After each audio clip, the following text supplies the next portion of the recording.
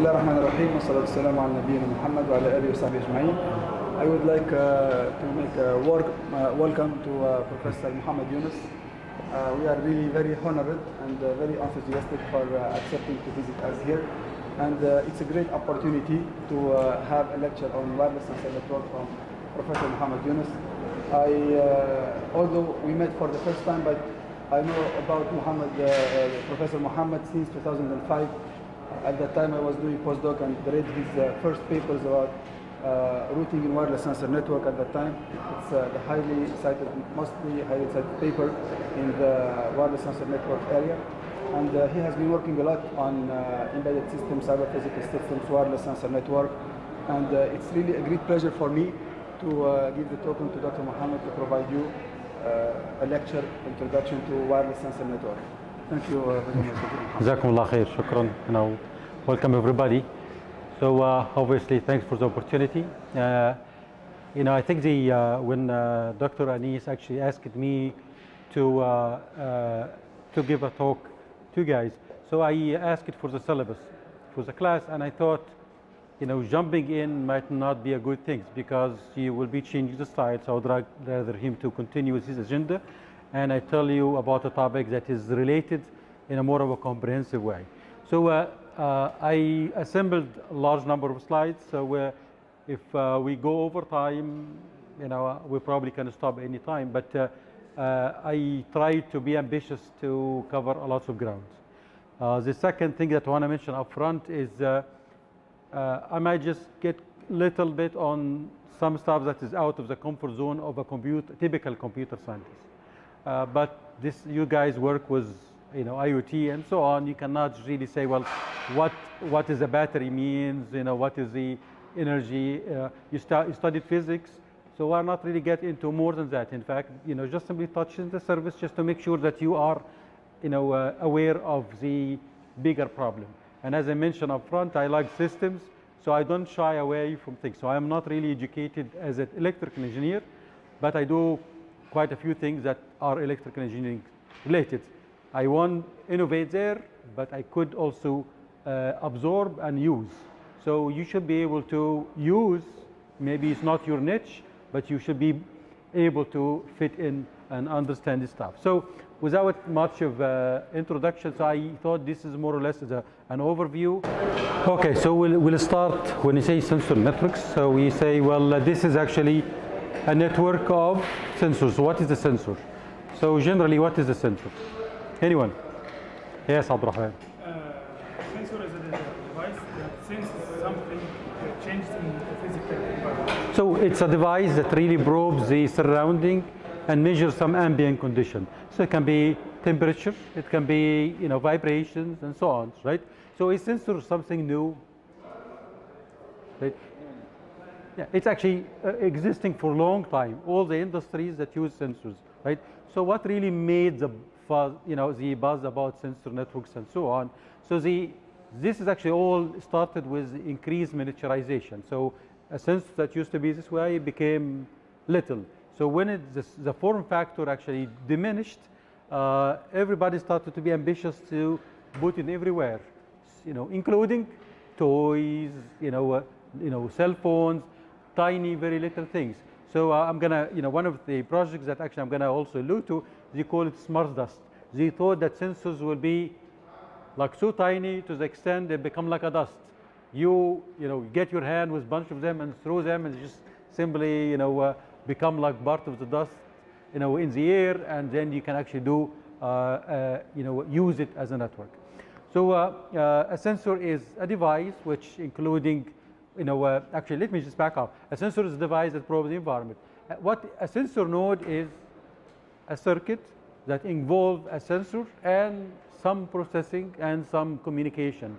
So uh, you cannot say a node without having being, you know, a communication because it does, a sensor exists, but you know, having a, you know, a, a capability of including sensing, processing, and communication, that really what made the difference. So a sensor node will be typically involving sensing circuitry, which is the one that really, you know, gets the ambient condition, probes the environment. Now, some data processing and control engine. This is, can be a microcontroller. know, everybody knows here what is a microcontroller first. What is, what is a microcontroller? What? It is like a processor. What is the difference between a microprocessor and a microcontroller? Faris. A microprocessor that takes care of the instead of the instead of the processor keeps on polling the polling the sensor, the microprocessor the microprocessor is going to take care of that and just send the interrupt to the processor. Well, uh, uh, you know, so actually, uh, the you know, what is the microcontroller or microprocessor? Both of them will be able to do some computation, right? But a microcontroller is really a stripped down, something that is really so basic. So if you are buying a microprocessor like Intel i7, how much is it? Expensive. expensive, right? Why? Lots of capabilities. But a microcontroller in one of the cars, it's one It dollar. Can be five dollars. So the you can see the scale. Obviously, the scale is not is going to become of the capabilities. So a microcontroller fits here because if you have a tiny node, you will not have a Pentium or you have an iCore 7 on it that really require a fan to cool it down, right? So uh, the capabilities here we call it, you know, data processing and control, and you have to keep in mind that this is really very small capabilities, and it suits uh, the surface. Uh, little memory, and uh, sometimes include the uh, conversion because if you are taking an analog value and convert it to digital in order to save it in memory. Everybody follows that? Uh, and uh, what is unique here is the radio transceiver, and this is what made this to be a node that can be part of the network, is that you could bump this data into this radio transceiver to get it out. And the transceiver, you know, as, as the circuits here show, this is antenna, and you back, if you studied radio and how you transmit from radio, you know, you get, you know, uh, currents into the antennas, antennas start to emission radio, you know, waves and so on. So this is actually the symbol for it. So uh, the uh, uh, sensor node started to as a bit larger, and I'm not going to show you some of the examples that really existed and was funded project, but they started to shrink, shrink, shrink. So the concept started to be more like the smart dust type of things.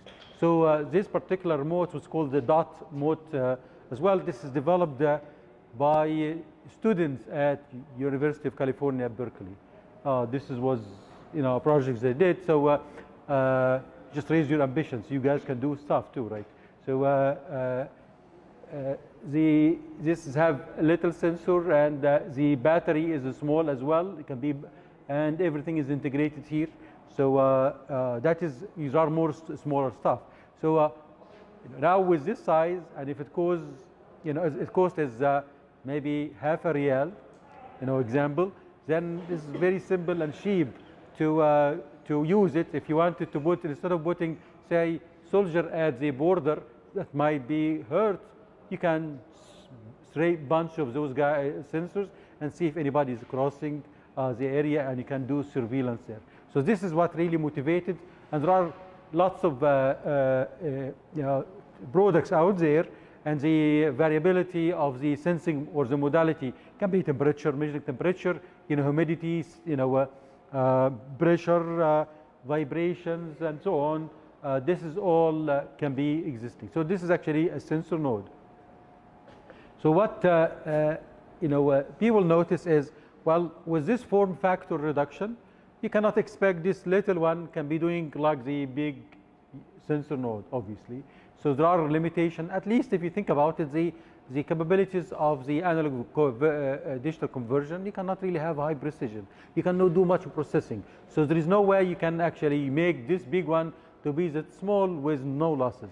So so the concept in order to augment that, you go with having multiple of them cooperation. You can none of us can move a truck, but all of us cooperatively maybe we move a truck. So this is the idea. In order to uh, do the uh, have high fidelity, you know, the you integrate multiple of them, and the when you integrate multiple of them and you have communication, the natural structure that comes to mind is network you know, uh, and that's why the, K, the KM wireless sensor network, this concept. So the, you know, the architecture, you know, uh, of the network is simply you spray, you know, uh, drop uh, multiple of those nodes, and uh, you get them to collaboratively uh, or an autonomously form a network without much of an external you know, uh, coordination and uh, get this to serve an area. Uh, most of the time you will find a base station or a node that is capable to be part of the area. Why? Because if, you can, if this range you cannot really rush far, you know, how can I go be in the air condition and get the data, right? So I need to be over there sitting there and serve, serve the purpose. So this, you know, base station is simply get all this data and have loud voice to transmit to farther distance and this has become like the access point for the entire network. Uh, the views that uh, you know, uh, uh, you know, at the time and still coming today that this is actually going to be infiltrating our life. Everything around us will be including sensors. And if you, uh, you know, I have lived this. This is actually a vision people will put forward probably in 2001 to 2003, sometime between. And if you look today, it was 2019. If you look around you, you'll find lots of sensors right? Even sensor everywhere in the buildings, at home, smart homes, you know, vehicles, you know, uh, the uh, the cars will have will have everything that we we use nowadays. Even your cell phone, bunch of sensors on the, your cell phone. So they they are really getting there in everything in our life, and you guys are early in your careers, and you will be witnessing what will be coming next, which is going to be even more and more and more and more. Okay, so uh, uh, it becoming uh, uh, exciting uh, for people to deal with uh, this ambitious, you know, goal of forming those networks. And you know, the application started to be lining up, you know, uh, because in because of the uh, versatility of this particular configuration. You can also deploy this in areas that you cannot reach, or you cannot reach anybody. So there is a fire. You know, don't want to get you know, some of the guys inside to see if there are some survivors. You know, you can always do that in a less risky way by, you know, uh, using sensors. So the next few slides, I'm gonna just, uh, uh, you know, uh, bring about some of those applications that people started to think about and develop. Now, but this is just a simply a sample. There are really much, much more uh, uh, people think about. The first one, this is actually the used a project that was University of uh, uh, Illinois Chicago uh, or Urbana, Urbana Champaign. They, they wanted to use the sensor network for monitoring buildings. So particularly old buildings, large structures, you know, old ones. So if you are building a new building, obviously you can populate sensors and you can use wires. Agreed?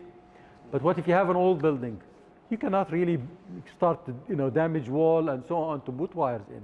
So it makes sense if you wanted to monitor the structure of the building, and the monitoring structure is important. You want to make sure that the load on the beam is really good, otherwise it can collapse. And, the, uh, and some of those buildings really sometimes historic, right? So you don't want it to say, well, fine, this is old building, let's just get rid of it and make it safe. So uh, there's a, uh, uh, there's a uh, importance of those buildings. So uh, they populate uh, uh, you know, the building with some of those sensors to measure the stress on beams uh, you know, and some of the piles in order to, to see if this is actually consistent with what is the expectation. If it is too much or uh, you know, and the reaction, you know, if there is some bending in the in those particular structures. So, uh, you know, the wireless component here also become very handy. You don't really need wires and they had a prototype actually as shown here to show that this is, would be good for uh, uh, municipalities to really monitor and find out what's going on. You know, other applications that, uh, you know, uh, monitoring bridges, you know, there are lots of work also to, to assess the, you know, well, the bridges integrity, particularly for you know, the, if, the, if the bridge, you know, sides and so on. I don't know if you have seen some of those, uh, you know, some of the bridges are really very fancy. If you look some of these, like the Golden Gate Bridge or the, uh, uh, in Brooklyn, uh, the Tappan Zee Bridge, you know, in, in, in, in the US, you know, the bridge itself, you know, it, the stress mainly on, you know, wires. You know, so you'll find if you look at the bridge, there's nothing in, underneath that you're holding it so it is from the beginning and the end, and there are wires. So the stress coming, you know, the wires is carrying the, the rest of the structure. So you'll find very really nice. But you know, obviously, you know, you will be it will seriously issue serious issue if it started to become weak over time. So uh, you know, you could populate this. There are some work that people did that for the Golden Gate Bridge in, in San Francisco. Uh, you uh, uh, can use sensor networks as well for what you call it precision agriculture.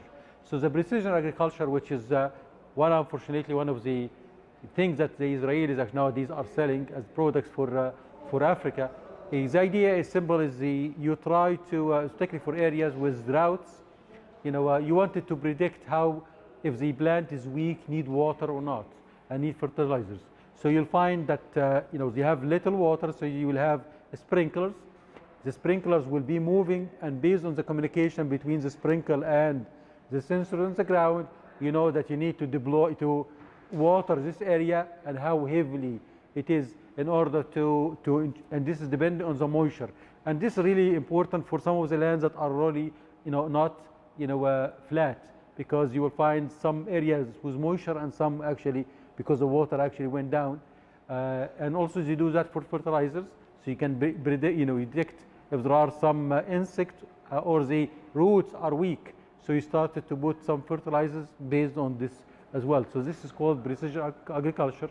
Uh, uh, the uh, example for factory automation, and this actually in Intel, they populate uh, that uh, their uh, machines uh, with sensor as well to detect uh, if there are uh, stress, extra stress or breaks, you know, like you know cracks, in order to uh, to uh, uh, replace them or re- repair them. And why this is important because those guys are, you know, you see the semiconductors that they do, there are this particular microprocessors, they had you know, millions and millions of transistors, right? So if the precision here, you are talking about a very high precision, uh, and if this is actually not, you know, uh, robust, it will be wasting uh, resources. Uh, uh, possible, uh, you know, as, as applications well for sensor network is what for the healthcare industry, and particularly with in-home care. And this is actually growing as well. You can always say this is IoT as well, you know, as a technology, but uh, people called it sensor networks before. You know, seemed like more of a fashion. The uh, uh, the idea for uh, in-home care, and this is actually a big problem in the U.S. In the in our Muslim lands, we care for our parents. So if we actually grow old, we we have them with us or we stay with them. No, but in the U.S., you know, they don't.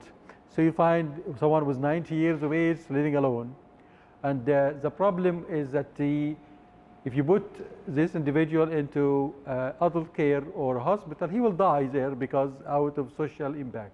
So if he's staying at home, this is make him more comfortable. But the issue is how can you ensure there's no problem at home? So uh, uh, the sensor networks here become handy because you could detect based on the motion pattern of the individual at home what's the activity, whether he's a problem or not. Like, you know, a good example, you know, uh, one of the faculty at Yale developed what call it imager, here, you know, uh, heat, em- heat imager.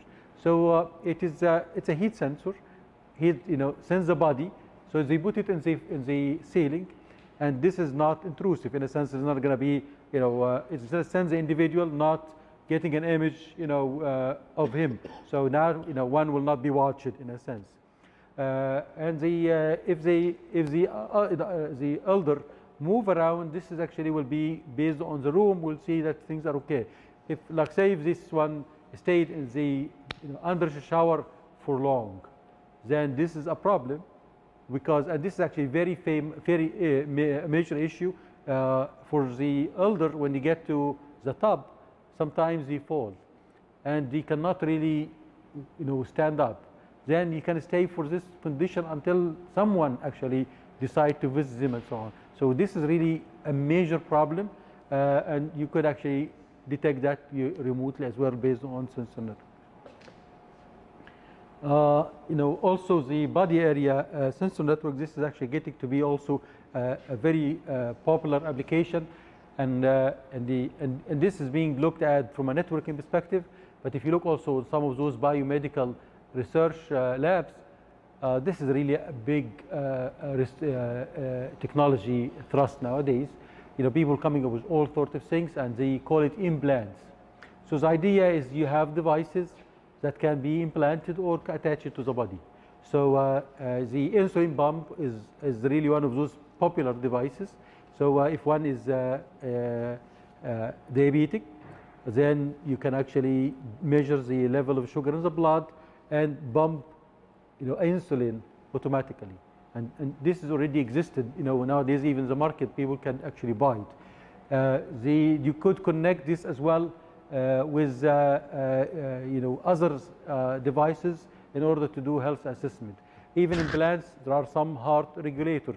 For those who have a problem in the heart, they in actually implant a regulator for the blood in the heart.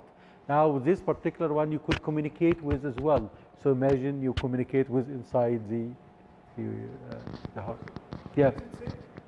Well, uh, uh, it, they 100%, well, anything when you say safe, uh, you have to look at it from two perspectives. Can the guy survive without it? The answer is no. Right? So in a sense, he have no choice. And second is, is this biologically acceptable for, for the body? Yes. And they tested. So when they insert it, the body will not be rejecting it. But uh, can this is also collect or cause, you can bring bacteria inside. Once it is inside and it heals, the bacteria will not come there except if it comes through any, any other you know, venues in the body. So this is actually not the issue. So from that perspective, it's safe. Is the material is, itself safe for the body? You know, that will, you know, time will tell.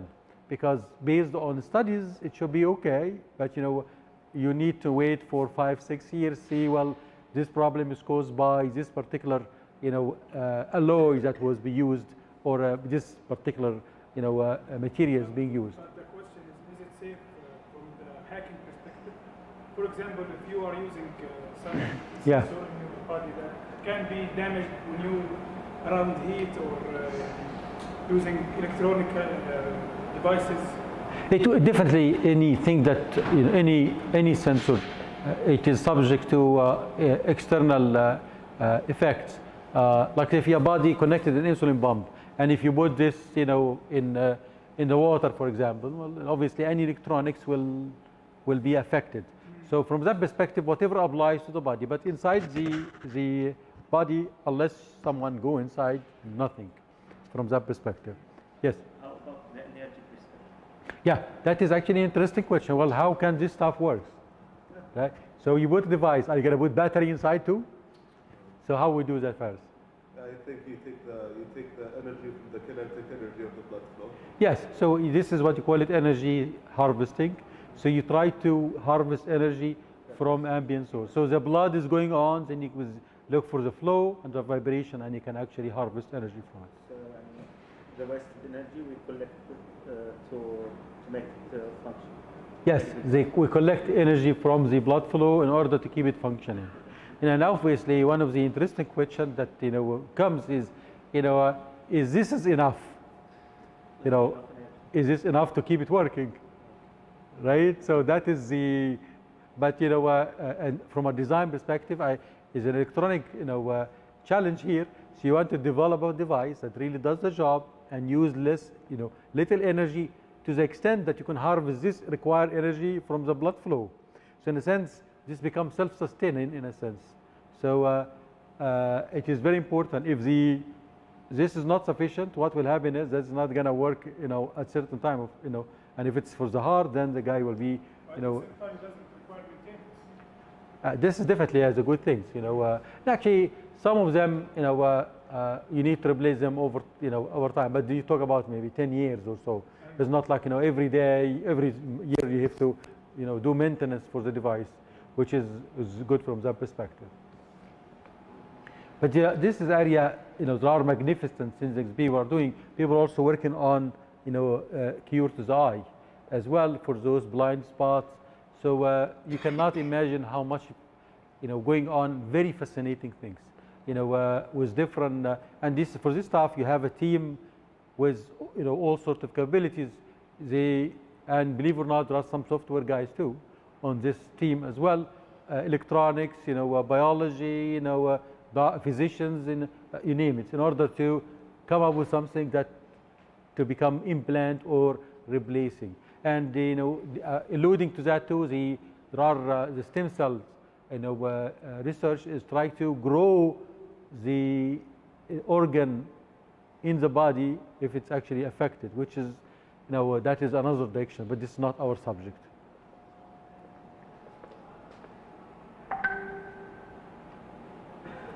Uh, let's uh, let's just keep on. I don't want it to get you bored. Uh, uh, the next application is the underwater networking, uh, which is one of the things that also I do uh, uh, work on. This is really very popular for uh, in machine, you know, marine biology for those guys who study the motion of fish, you know, and the effect of salinity, effect of impurity in the water. You know, looking at the, you know, the quality, uh, you know, of the fish being there, uh, if there are poisons and so on. So from that perspective, this is really nice because you could deploy them, especially in different depth, and collect the data while you are sitting in the air condition, you know, uh, uh, without being there. The uh, uh, doing that also for uh, gas and oil fields, you know, particularly for those, you know, stations in the, you know, in the sea, you know, also drilling for to get oil out and so on. You could you, you could use this as well to detect, you know, the integrity of the oil field, uh, and also uh, if there are some leaks, you detect as well. One of the projects that really uh, triggered also this research is a major uh, leak of oil in the uh, uh, you know in, in the U.S. On the coast of Louisiana, and this really caused major damage to the marine biology, marine, you know, habitat there, because you know many fish died, uh, and even the quality was, you know, they are poisoned as well. So uh, uh, you know, detecting this early will be quite useful. And the third aspect, you know, know, also you can use it to detect threats, you know, detect submarines and so on. There are, you know, if you think about it, there are sensors that really detect that today. So in fact, if you look at even the Second World War, war, uh, war you will have some detection, you know, mines over there that really detect submarines and, you know, uh, but the, what, what is, uh, this is can be achieving is that you have more of like an integrated system, you know, instead of, uh, you know, because some of those mines actually explode in whales because you don't really make much of a distinction.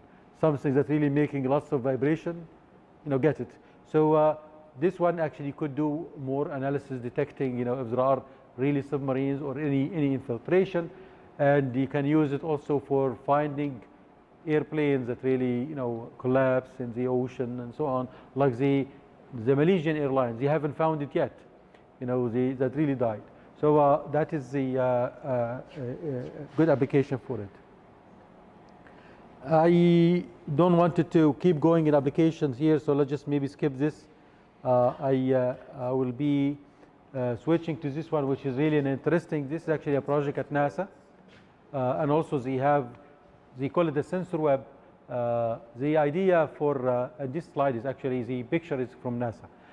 The idea is to have a, sensors, sensor network out of satellites and ground sensors, and you use it for particularly detect, you know, taking, uh, uh, you know, tracking, you know, volcanoes or, you know, uh, widespread fires, uh, like in, in California, particularly they had a huge one. Uh, you know, you take uh, some ground values from ground sensors, and also you can get the satellites based on the field of view to take a picture. So there will be communication between the ground and the satellite to collaboratively take measurements and take an image. And you schedule that as well, you can do coordination accordingly. So this is a, EO-1 actually is a sensor web uh, project over there uh, with combining ground sensors and the uh, satellites.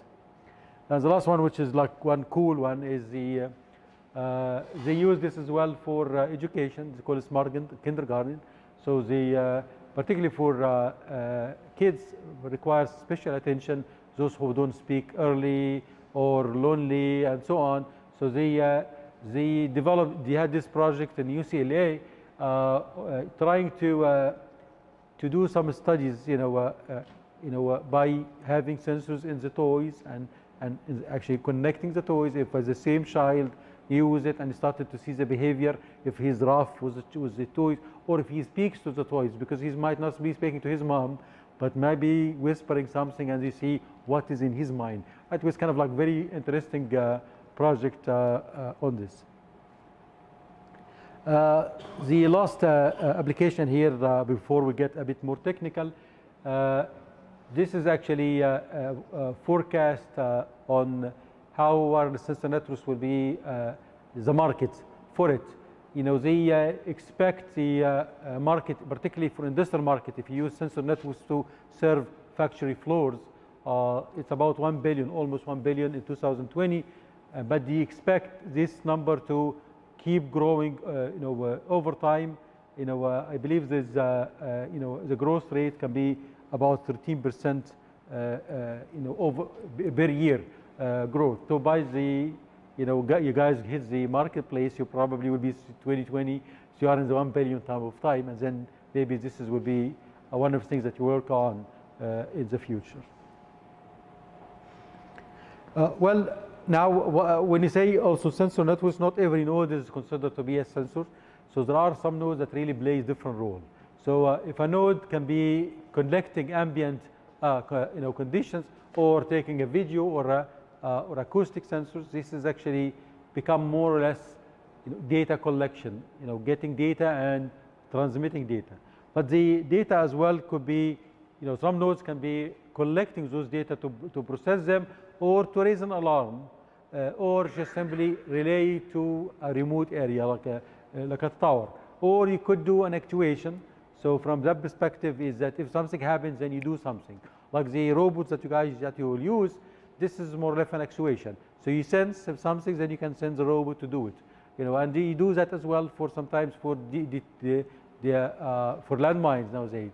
For uh, a, you know, uh, to if, if they discover landmines in the past, or I don't know if the best in our countries they still do it nowadays. They send one of the guys to go there and try to uh, uh, uh, uh, dysfunction it. But the uh, uh, uh, practically this is dangerous. So you send one of those robots, you know, detect a landmine, send the robot, and actually the robot will be doing the job.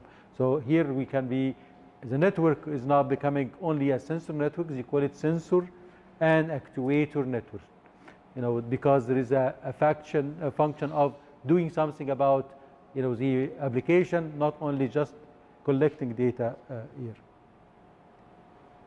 So, uh, uh, you know, what is the uh, uh, operation model for a sensor network? When you say operation model is, you know, we got now some bunch of nodes that are connected and how these nodes will be operating.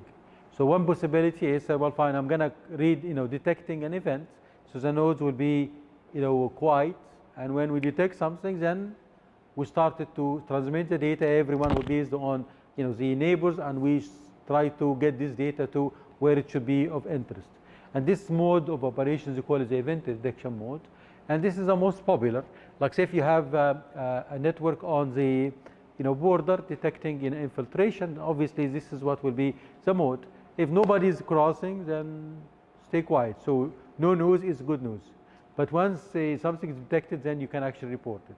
Or you can have the network actually operating on the periodic measurements, you know, kind of paranoid. It's always, you know, every one, you know, minutes, you know, see what's going on, send the data, and, and, and, and send it again. Uh, like say for temperature, it depends on the pe- periodicity, depends on the seriousness. So if you wanted to measure, say, you know, the uh, uh, uh, uh, the smoke, particularly for fires, if you want to detect, you know, measurement the quality of the air because of the smoke, you could do that, you know, uh, more often, particularly during fires as well. Or the, uh, uh, you could do uh, what you call the function approximation. In this case, you are not really collecting the data and send it somewhere else. You try to do the functionality inside. So, you know, for example, can we, we have area covered by sensors. Can we draw a, a, a- temperature map?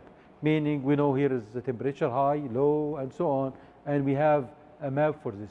So, you know, this is, could be, you know, uh, you know, the task for the sensor network rather than sending the individual node, uh, the individual values, you just simply, you know, send the, the gradient uh, across the area.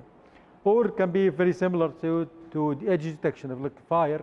You know, you don't really, uh, you want to detect where is the fire boundary is because you can you know, find out if they are spreading uh, and if they are spreading, which direction they are spreading in. So uh, uh, the uh, third, the next mode is called the tracking mode, which is if you have a, you know, an area covered by sensor and you wanted to, you know, detect targets, you'll find the target, you know, crossing the area and you can de- track where the path for the target is. And this is very popular, particularly for applications, you know, in uh, uh, in military when the target, you know, detect, you know, tanks or whomever is walking, and take that as well. Uh, and the last thing that uh, is, a, is the network become quiet. You collect the data and stay quiet. If someone is interested, tell me the temperature in this corner. Then the sensor over there will start to be sending this over there.